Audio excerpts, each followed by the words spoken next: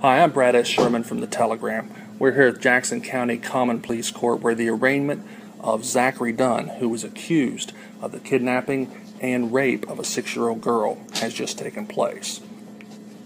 You're watching a Telegram news video powered by Holzer Health System. And are you entering a plea of not guilty to the indictment? Yes. Dunn pled not guilty to a nine count indictment against him that alleges he abducted and sexually abused six year old Macey Stewart in July of this year. The charges against Dunn include three counts of kidnapping, two counts of abduction, one count of rape, two counts of gross sexual imposition, and one count of felonious assault.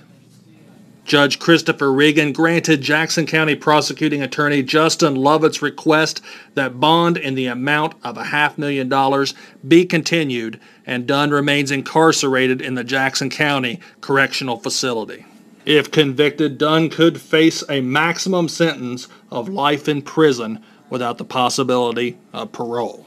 A trial will take place prior to October 27th unless Dunn waives his right to a speedy trial.